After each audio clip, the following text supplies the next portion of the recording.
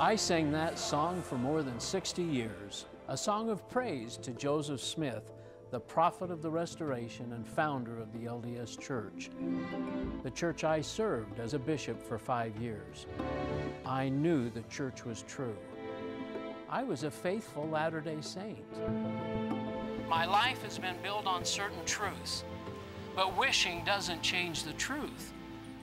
Jesus said, You shall know the truth, and the truth will make you free.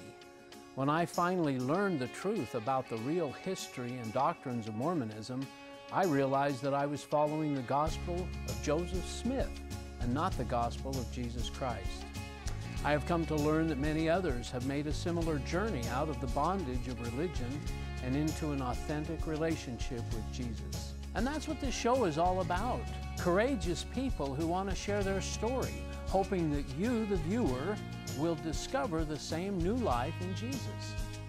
So if you're a Latter day Saint who is struggling with questions or seeking a genuine encounter with the Savior, we invite you to join us tonight. We have a joyful message that we want to share with you.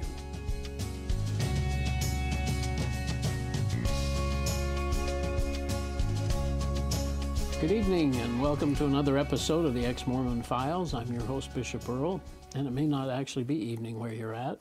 Sorry about that. Anyway, I'm really happy to introduce to you tonight, today, whenever, is Taylee Winder. We met your husband last week, Nick, Yes. and what a delight. And Yes. enthused about Jesus and, and the mm. gospel, and it's just exciting. Yes. Yeah, yes. he's gone through quite a quite a story, and Yes. you've got one as well. You were born in the church, is that right? Yes. Where were you born? I was born in Logan. Oh. Um, I grew up until the age of nine in Farmington, and then a brief moment in Boise, Idaho, and then we, uh, well, my parents built Yeah. a home in Brigham City, and from sixth grade on, I grew up there. So Oh, always surrounded by Mormons and very much so. part of your culture and Yes, yep. everything. and Baptized at eight. and- Yes. Okay. Yes. So And you did you ever take seminary? you know, I did not. No. didn't take seminary. no, that was offered more in middle school, and by then um, we had left. So Oh, okay. yeah. And what's what what had happened? I guess is Well, going back, Yeah. um, my mom is the one that kind of paved the way. The Lord um, called her out first, and in doing so, she took me and my sister along with her. no, she did. Okay. um, my dad was a little apprehensive, but um, ultimately the Lord got him too. Yeah. So um, when we were in Farmington, is where we were um, going to church, doing everything that you do and all your friends do and neighbors do around here. Singing the songs you were oh, saying you, earlier. if you'd like you, me to sing, I can. you know, choose the right and all those. you songs? betcha. Yeah. Um, so, but I didn't realize um, m- the turmoil my mom was going through. Uh, lots of questions on her side um, that ultimately brought her to leaving. But um, the first memory that I have where um, I took pause at what this religion or what this was that we were practicing was Yeah. was when I was baptized.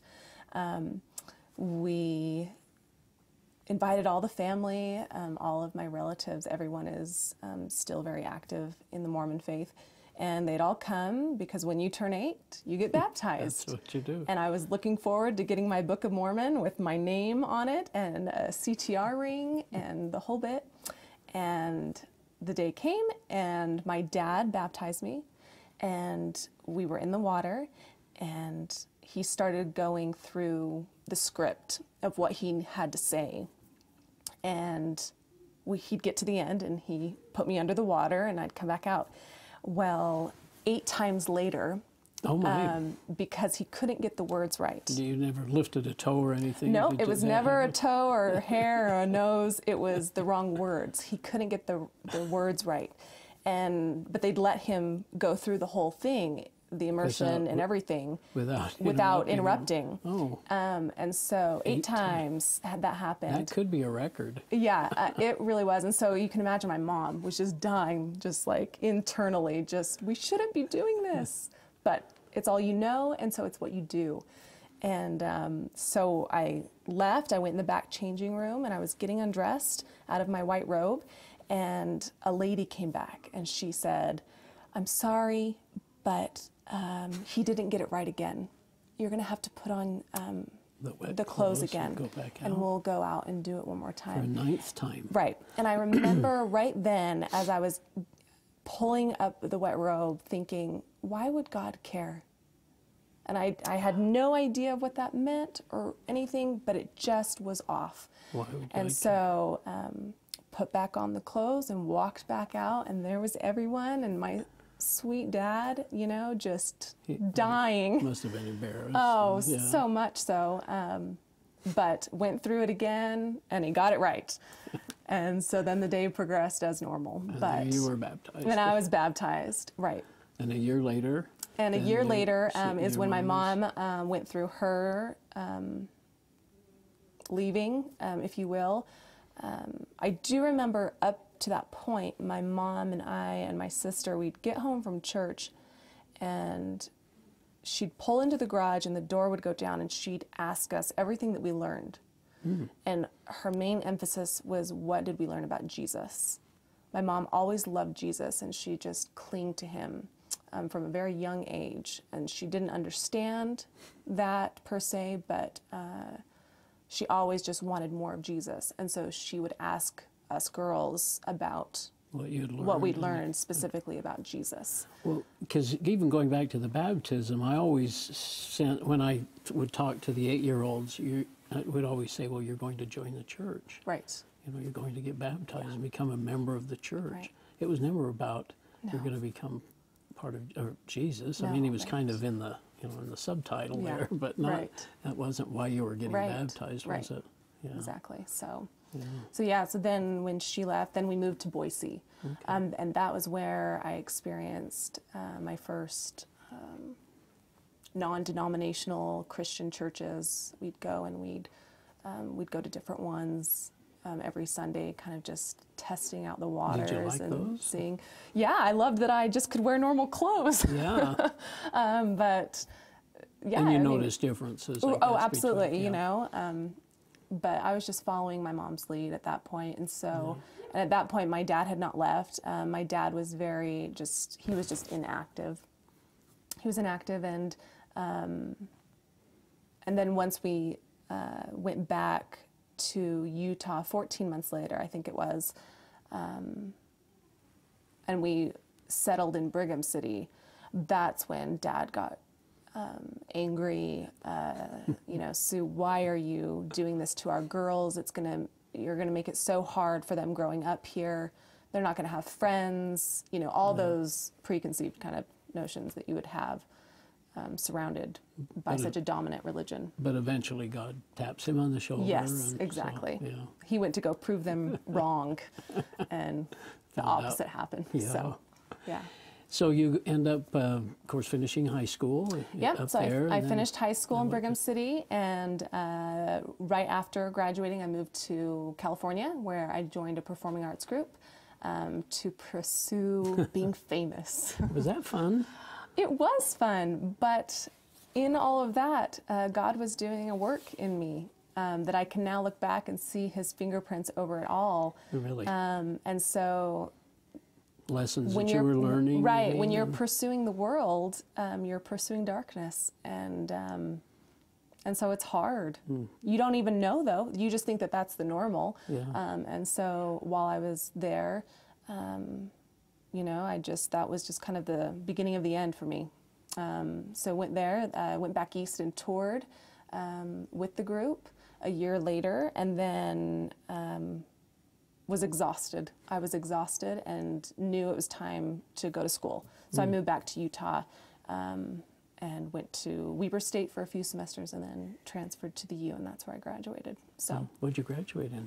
journalism broadcasting. Wow, Yeah. how about that? So I'm feeling kind of comfortable here. Yeah, sure you are. And so all this time, you, you mentioned earlier to me that uh, Yeah. you've always had a, a relationship with God or always felt close to Yeah, you know, I always knew there was there was a God, there was a higher power or something. I never went full blown atheist. Um, because even though even while I was growing up until leaving uh, for California. I went to church with my mom, the church that she ultimately brought us to, and that my parents ended up going to. Active in youth group, um, but nothing ever penetrated. Um, I think at a Bible camp, I accepted the Lord. um, that is one thing that is highlighted in my memory of, you know, at a worship service, I accepted Christ, but nothing ever really stuck. I continued Yeah. living in sin.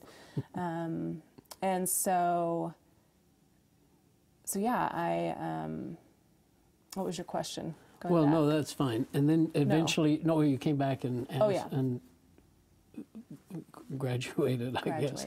Okay. Yeah. Well, I don't know where we're at exactly. Yeah, so I, I went to school, graduated, um, and a week after I graduated, I broke off an engagement. I quit my job. Um, I packed up everything and I moved back home Wow. because I had hit bottom. Yeah. Even though I thought I was pursuing all the success and everything that you're supposed to do. Huh? but only Christ satisfies. And so when God calls you, He calls you and He shows you that. And so um, I went home and I sat on a couch for nine months, healing just of life Just didn't feel. let me down. I don't Yeah. know. Everything was gone and I didn't have anywhere to turn. And how old were you? At that point, I was 23. Wow. So, And just feeling like it was yeah, what now? just disappointed. and- yeah, exactly. So, then what happened? Kind of an interesting. So then, moving back home at 23, um, now my my family's been saved. So my mom and dad are um, new creations, and it's evident uh, the spirit was active and alive. Could you tell and a flowing. difference? Oh, um, night and day, night and day. Um, my What, dad what exactly? specifically. What exactly? Just sense of freedom, uh, less yes, guilt. like just less- this this load lift, lifted off. I don't know. It was just, or maybe even like a suppressing cloud just breaking away and just light. That's a good way to uh, say you know. it. Yeah. And so as I was sitting there on this couch, uh, and life was just like circling around me. It was consistent. This wasn't some trendy thing that my parents decided to try to make themselves better. Yeah. Um, it was this authentic brokenness being restored Trusting in God. yeah it was just Jesus. yeah it was beautiful and this talk um, of about jesus it wasn't this religious it was just this relationship Yeah. and so it was in that moment as i witnessed all of as i witnessed them and i witnessed this community um, around them coming in the house just living life um, in christ that i said you know i want this i don't know what it is but i, want, want this. this. right You mentioned a little heart in the home experience. What was that about? Yes, Heart in the Home uh, by Shawn McCraney. Uh, that was actually back when I was living in California. I'd come home, I don't know if it was for Thanksgiving or Christmas, but I'd come home to visit, and they were having this Heart in the Home, and I was, you know, and all I knew at that point was religion. I just, uh, it's how I viewed things. I knew it was some guy out of Mormonism. But if you you assumed that if there were any was if there was any religion, it was Mormonism. Would you think that maybe? Yeah, well, no, I didn't think, No, I didn't think that if there was a right religion, it was Mormonism. Okay. I just, I was very bitter towards Mormonism still. My heart was very hard towards it. And so Shawn McCraney came in the house, and my parents had invited um, all the neighbors and other people Christians, Mormons, inactive people. Um, and I sat in the back. And as Shawn talked and um, questions were asked, you know, I just sat back there boiling. I was so angry. And I didn't, and, and as I even say that, I don't even know why I was angry. Just that he would be challenging. But he, right, just who are you? And so ultimately, it came to a place where um, I just went. I just went into him, and I did. I, who are you? Who In are you?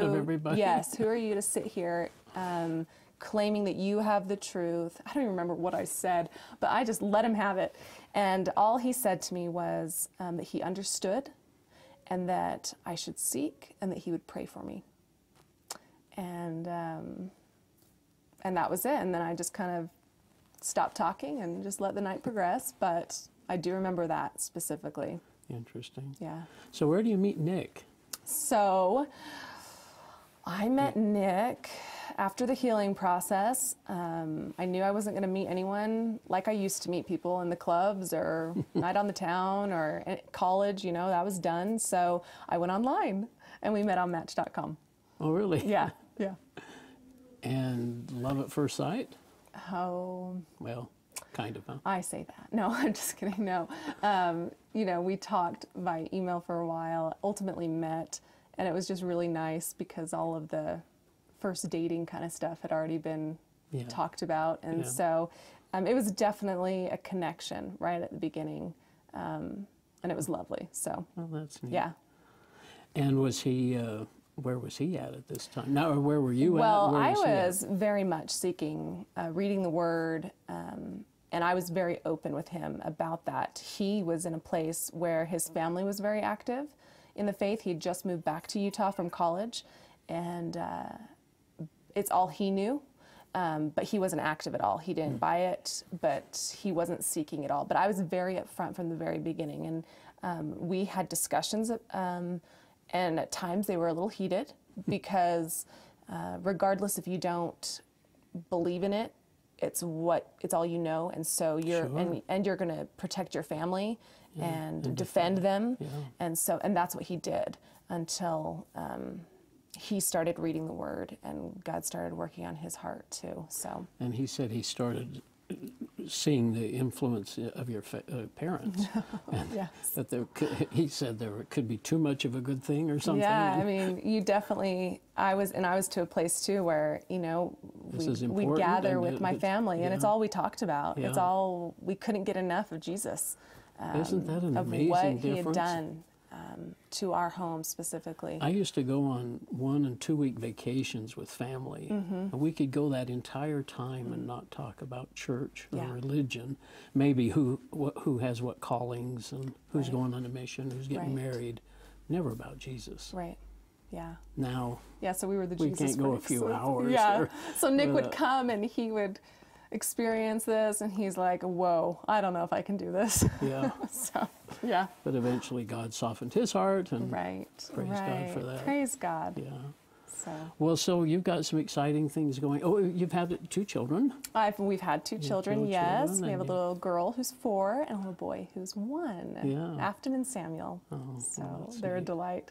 Well, we learned just a little bit last week that, uh, or last time, that uh, Nick said that you may be on a new journey here and Yes. with Russ East. And the, Yes. So tell us a little about a little bit Um, about that and how that came about. Well, we are going to be joining uh, Russ East with Utah Partnerships for Christ in July. Uh, we're in the working it out and preparing right now. We're going to move into the Blue House, uh, which is kind of the base camp um, of where mission teams come to serve and evangelize uh, the greater northern And how Utah. big are these groups? We did learn that sometimes they're college age and high school age. Yep. kids. And they it can range from a small group of seven or eight to twenty. Um, yeah, that come and And they have leaders, I guess. and they have leaders. Yep. them, And throughout that seven to ten uh, day period, they come and they go to Temple Square. Um, they go and serve uh, polygamous um, colonies, um, other things, other Mormon outreaches. Whether they might come and talk to you or Would they go to a church? And Yes, uh-huh. they um, they'd or- go well. They'd go to a church, um, hoping to have dialogue, and um, they typically are able to invite people back to the Blue House for a meal, for discussions throughout the week. Um, and then it's located right across the street from Weber State University. Yeah, that's a great location. Right, and so yeah. the the teams will go up there, engage in conversations, invite students over, and so we are planning to move into the house um, and offer um, a hospitality ministry um, because these mission teams come out and their faith is rocked. They um, in the sense of questioning their faith. not necessarily questioning their faith, but understanding the depth of their faith um, and perhaps just how ill equipped they are to go and have discussions with people um, and defend Jesus. Um, And so they come here and they're met with a religion who also claims Jesus. And, and uses a lot of the same words. exactly. And so they come back Different definitions. Guess, Exactly. yeah. And so they come back from a day of serving um, and evangelizing, and they're defeat they're defeated.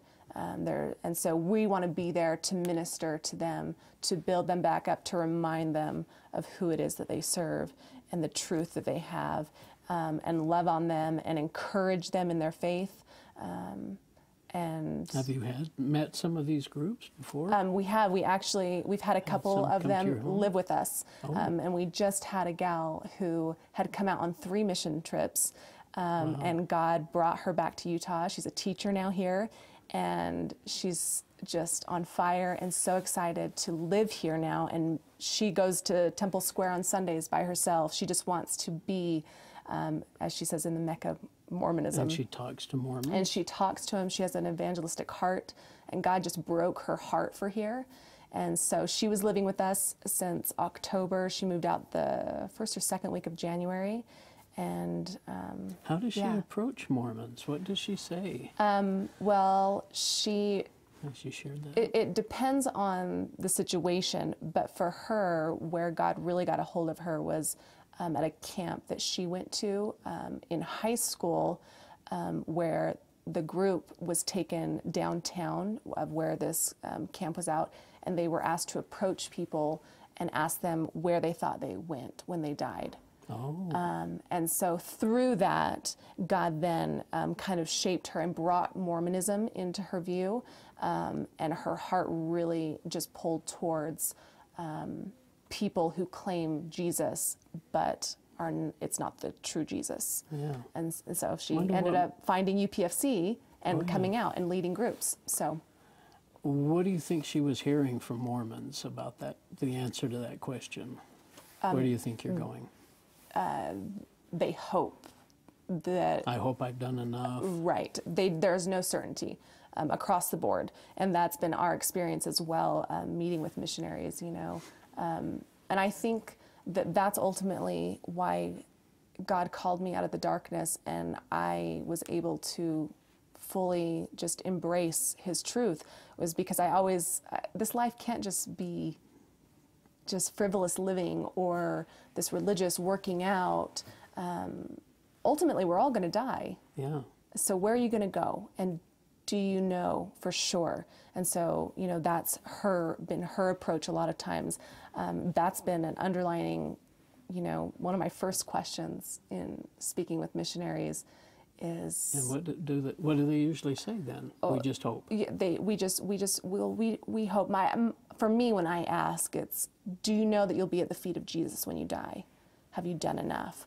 And it's always well we hopes we hope but but no I don't know you know, there, there's no certainty. I, I don't know how to answer that. See, you know, Carla, my wife, Um, yeah. kept asking me, um, "Are we going to make it?" She was always asking Mm. Right. that. Now I had the confidence that I had gone through the priesthood and I'd the temple and I'd been married for time and all eternity, and so I felt confident I was going there. But she was always asking me, "Well, are we going to make it?" Yeah. And I would say, "Well, the promise is is that we don't Right. commit murder or do something Right. silly like leave the church." Right. Right. that we would that we'd make it to the celestial kingdom. So, but I Mm. yeah. know there are a lot of people that uh, they don't have a good answer for that. We hope we hope we've done enough. Right. And that's where our hearts just break. Yeah. So And as a Christian, how would you answer that? Mm. where will I go when I die? Yes. oh, at the feet of Jesus um, to worship Him for all Well, eternity. He's just done everything. He's done us. everything. Yeah. I, I cannot express, and we didn't even tap into anything of what He has done for me, um, what He has redeemed. Uh, sometimes I'm just left in awe. I cannot believe the person I used to be um, and who I am now. Yeah. And we're just getting started. Me either. And as you know, as I've read the Bible now, as you have, Yeah. I'm sure that Him being the Good Shepherd, Yes. and what that really means. Mm-hmm. As sheep, Yes. we we don't have anything to offer as Nothing. sheep, but we follow. right. Exactly. We trust the Good Shepherd, Yes. and there's a freedom in that. Yes. And then what about good works? Are they They're the- filthy rags. yeah, and They they're not for are. saving. No. It's just no. because we love Him and we Right. we do do things because we Yep, I love him. live my life every day, morning, every morning. God, how can I glorify you today? Like, just use me, God. I'm a vessel. Just use me however you want. Now, I know you've had such a relationship with Mormons over Yeah. your lifetime, Yeah. family and, and everything. They don't see it that way, do they? No, no. And I, I don't understand, or I don't. I asked Nick this too. How do we get that message to them? And I know it's awkward, it's tough. He said he has a hard time sharing with his family. I have a very hard time with my family. Well, you know, um, I think God gives you those opportunities, and it depends on the person. Um, not that we don't go and um, proclaim the truth, but just a few weeks ago, we had a Mormon in our Friday night group that we have. He was new, student from Weber State. Um, one of our friends invited him, and he just he couldn't get enough of what we were talking about and nick was not going to let him leave our house without hearing the gospel and he heard it i mean everyone in the group was just like wow And he was listening. and he was listening and then him and his friend left and had an hour long conversation and uh, and so our prayers is you know that he keeps coming or if when we get to the blue house we're connected because of Yeah. weber state you know who knows but um, you know you this the spirit leads when you're supposed to speak um, and if you don't he redeems that we've seen that time and time again because it is awkward and it is hard and you want to do it in love sure. but at the end of the day, um, there can't be half truth. There's No, either truth or, or not. Truth or not. And so, um, you know, getting into the word, being equipped for those moments um, to defend the gospel is And trusting the. Bible and Right. trusting Jesus that, that that is the gospel. right, right. And, uh, yeah, it's a glorious message. And, and there is such a freedom. yes, Yeah. yes.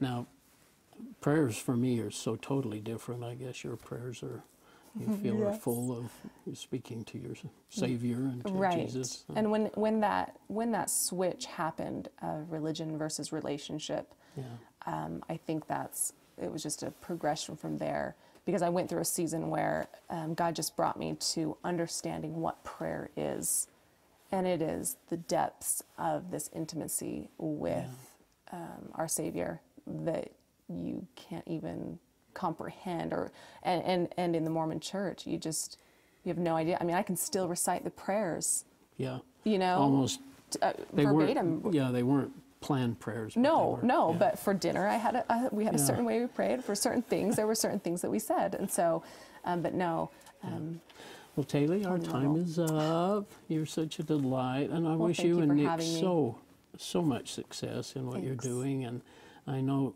you're such sweet people and a great family. I'm sure you'll just touch so many lives and well, encourage people. I think that's that's helpful too. Is just to encourage them as they go through their journey. So Yeah. thank you, and we'll see you again on Ex Mormon Files.